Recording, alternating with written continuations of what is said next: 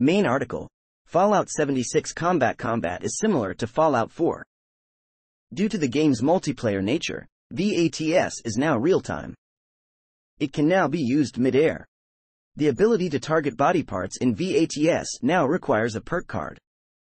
Grenades now have a visible throwing arc but only with a perk card. Weapons and armor have durability and will need to be repaired occasionally using in-game materials. Repair kits can also be used which may be purchased or sometimes given out for free from the Atomic Shop, may be obtained after completing events, or may be obtained from the seasonal scoreboard. Weapons and armor now have level requirements with the max level cap at 50. Some equipment known as legendary equipment have modifiers called legendary effects, which each star by its name indicating the amount of legendary effects it has. Using modules, players can roll a weapon for different effects in a process known as legendary crafting.